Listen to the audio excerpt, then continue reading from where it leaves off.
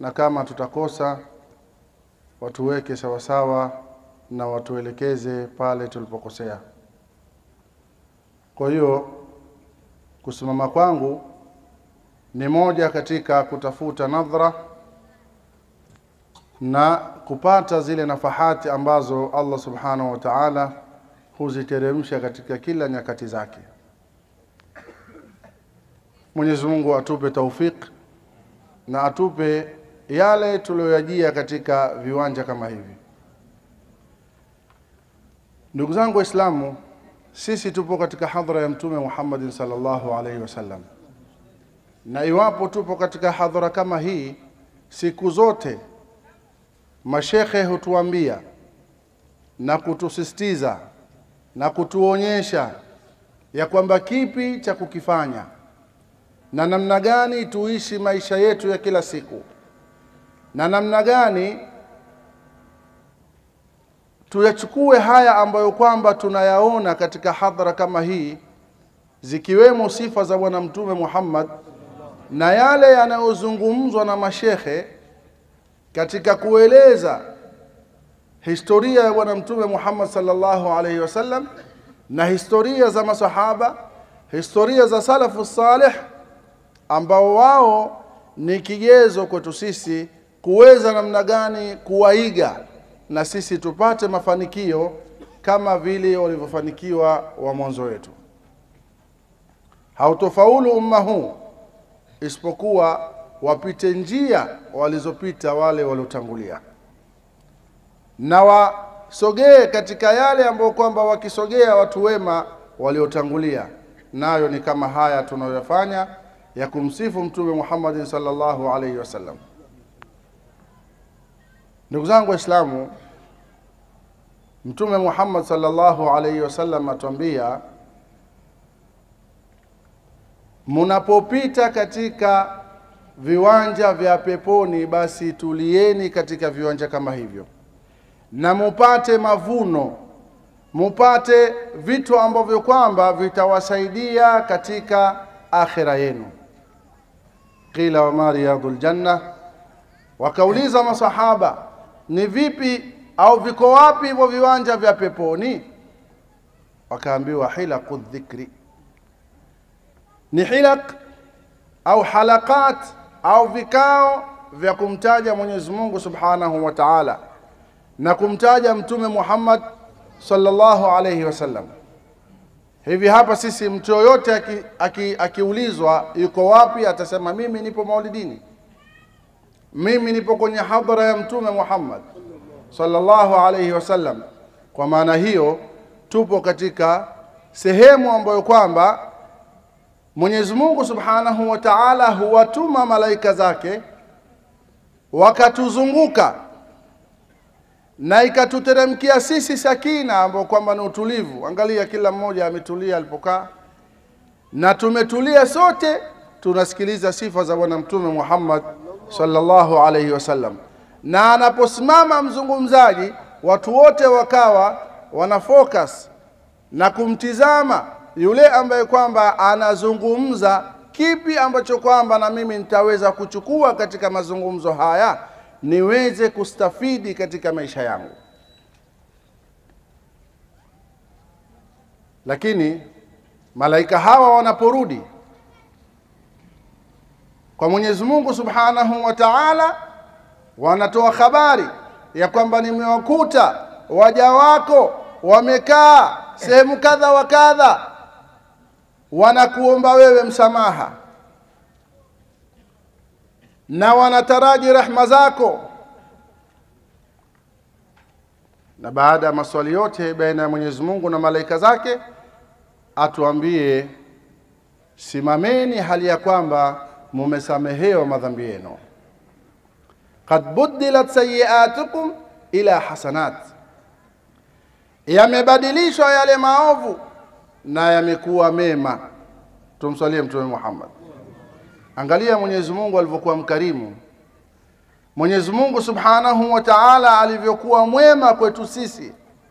Yaani wewe una maasia yako, una mabaya mabaya yako, una machafu yako ulioyafanya, lakini kwa vikazi kama hivi na sehemu kama hizi za kheri, ikawa wewe utatoka hali ya kwamba yale maovu yako yamebadilishwa yamekuwa mema. Ni karam kiasi gani kwa Mwenyezi Mungu Subhanahu wa Ta'ala kwetu sisi,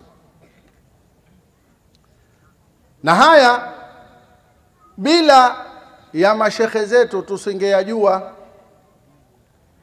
bila ya sisi kuwa na utaratibu wa kwamba kusoma kama vile Mtume Muhammadin sallallahu alaihi wasallam alivyosoma kwa Sayyiduna Jibril, akawa yatalaka anhu alquran, anapata kwake yeye Quran, anapata kwake yeye mafunzo mbalimbali, ikawa ni sunnatullahi fi khalqihi, kwamba watu wanapata elimu kutoka kwa shekhe huyu na kwa shekhe huyu mpaka kufika kwa Mtume Muhammad na kutoka kwa Mtume Muhammad sallallahu alaihi wasallam mpaka ikatufikia kwetu sisi.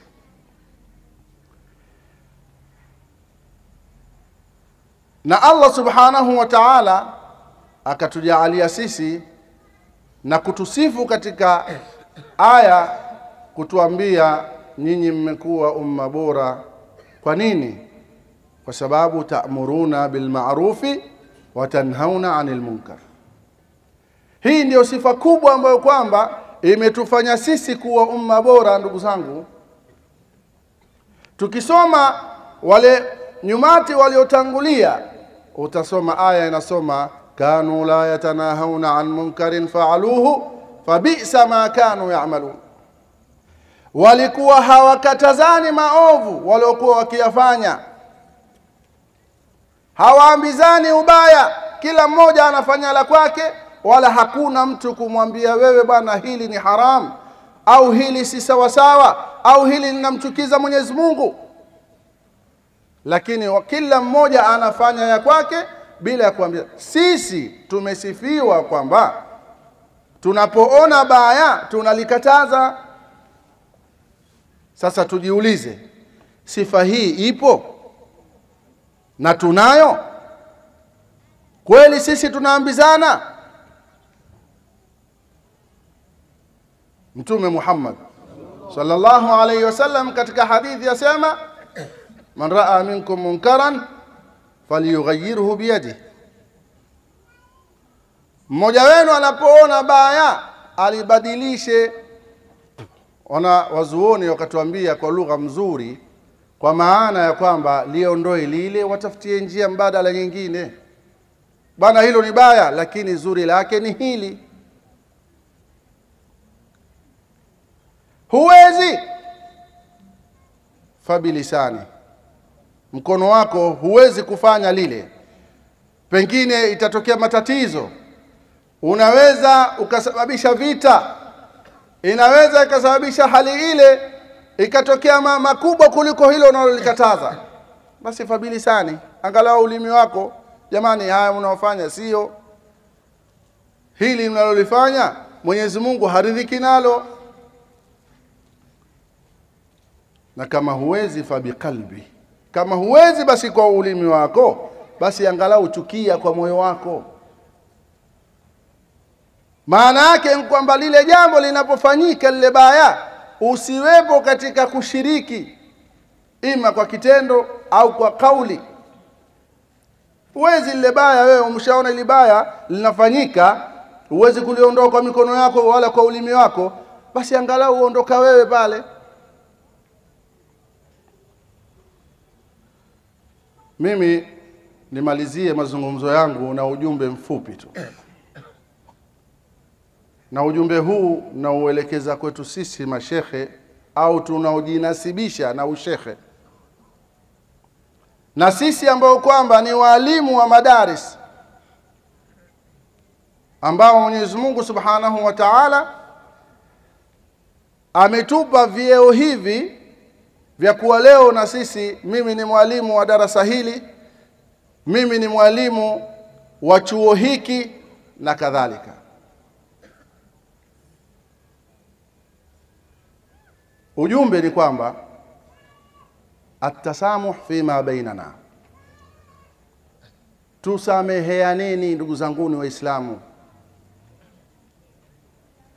leo wallahi maa alasafi shadid ni masikitiko makubwa ambayo kwamba hata mtume Muhammad sallallahu alaihi wasallam hii hadhara tunazozifanya na mambo kadha wa kadha tunayoyafanya wallahi tunapata matatizo makubwa kwamba utakuta madrasa hii haizungumzi na madrasa ile. Mwalimu wa darasa hili hasemi na darasa lile. Wewe utakwenda kwenye hadhara utashangaa mbona madrasa fulani haipo. Kumbe walimu wa madarasa zile hazizungum, hawazungumzi. Na wewe ukihudhuria hadhara pale shekhe utafukuzwa na chuo. Inna lillahi. Hili ni tatizo kubwa jamani kisha sisi ndo waalimu ambao kwamba tumesoma. Ni walimu ambao kwamba unaingia chuoni unafundisha unasema sibabu lmuslim fusuqun wa qitaluhu kufrun. Kisha wewe ni mwalimu unatoka unatokana na huyu unatokana na yule una ugomvi na huyu. Hadithi nyingine utasomesha mwenye kumuhama mwenzie fauka thalatha thalathata ayamin. Anasemaje habibi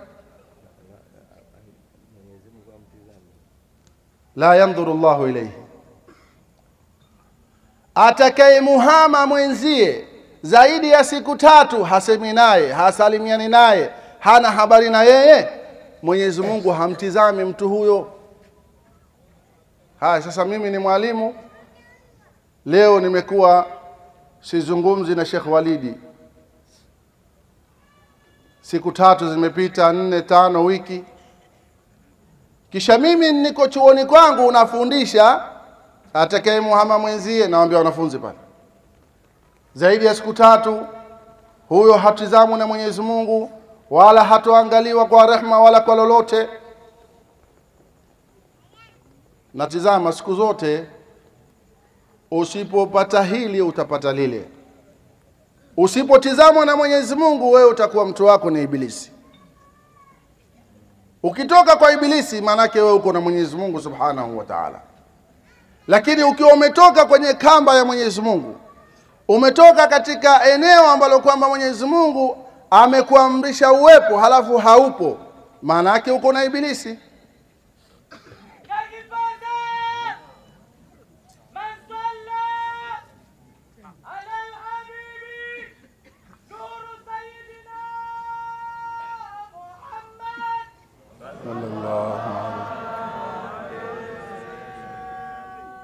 asante darwesh timing umeipatia. Hiyo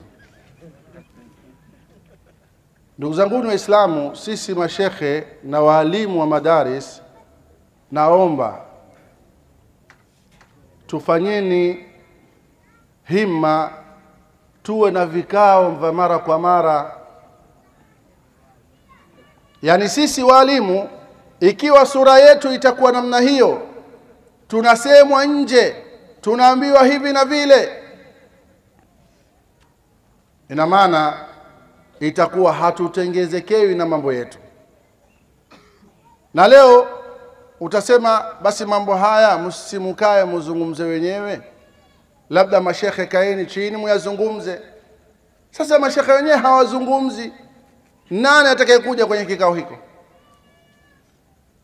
ndugu zanguni waislamu mimi nimependa kufikisha ujumbe huu na wallahi ni kwamba ni jambo linaniuma ndani ya roho kwamba kwa nini sisi walimu hatuna mshikamano? Hatuna jambo ambalo kwamba linatuweka pamoja. Na jambo linalotuweka pamoja ni hili la maulid. Lakini haya maulid yenyewe tayari kuna figisu hapa na pale fitna. Huyu hasemi na yule madarasa ile ikifanya hadhara pale haiendi. Yule haalikwi sijui na hivi na hivi. Fa aina tadhhabun? Tunakwenda wapi ndugu zangu waislamu ikiwa hizi hadhara ndio zinazotukusanya zisiwe hizi hadhara ndizo zinazotufanya sisi tugombane. Mimi nimependa kugusia hilo na mwenyezi mungu mwenyewe ananishuhudia katika hili kwamba mimi ma uridu illa lislah sitaki ila ni maslahi baina yetu na furaha baina yetu ya ukweli ya kutoka moyoni. Sio naona mwenzangu nacheka naye kumbe ni usoni tu. Nikimpa kisogo tayari namsema "Ah, hamna kitu bana. Jana sijui kaninyima hiki juzi sijui kanifanyia hivi juzi kanifitinisha baina ya huu na yule mwenyezi mungu atuwafikie kila la kheri. Mwenyezi mungu atuondolee matatizo haya. Mwenyezi mungu atupe mahaba baina yetu. Kwa jaha ya mtume muhammad sallallahu alaihi wasallam. Na kwa jaha ya vikazi kama hivi mwenyezi mungu subhanahu wa taala atubarikie atupe kila la kheri. Wama alaina illa albalagh. Wassalamu alaikum warahmatullahi wabarakatuh